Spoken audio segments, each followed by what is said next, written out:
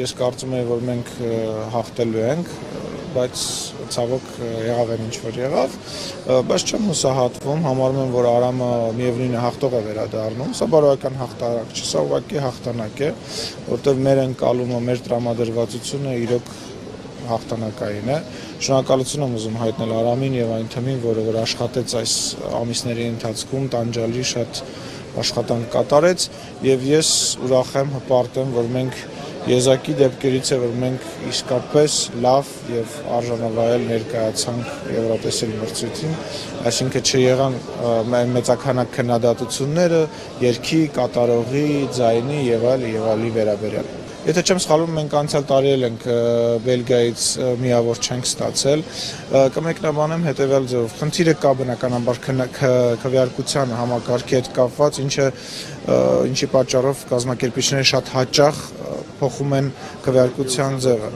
Այո, քվեարկության ձևը դրա պատճառով հաճախակի փոփոխվում է, վստահ եմ, որ մոտ ապագայում էլ քվեարկության ձևը կփոխվի, բայց միևնույնն է, չի դա չի քննադատ, չի չի քննարկվում, այսինքն եթե դու հաղթելու ես, ապա դու պետք է հաղթես նույնիսկ նման պարագայում։ Ես համարում եմ, որ սրանից լավ բան չէր կարող լինել երևի թե շատ լավ է, շատ լավ է, որ Արամը սենց ձևով է վերադառնում եւ վերջում չեն կարողանալ վերադառնալ կոնսուլտայի երևույթին ընդհանուր մասնավորապես երկի մասին չկա երկը բնա